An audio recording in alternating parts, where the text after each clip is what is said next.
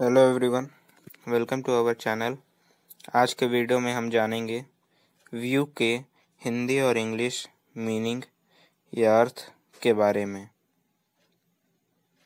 View इसका हिंदी अर्थ है राय, देख लेना, देखना, दर्शन करना, अवलोकन करना, जांचना, जाँच लेना, जाँच करना।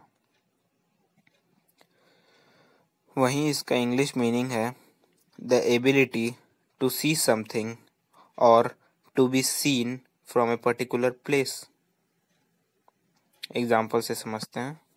Example that person is blocking my view उदाहरण, वह व्यक्ति मेरे राय को रोक रहा है।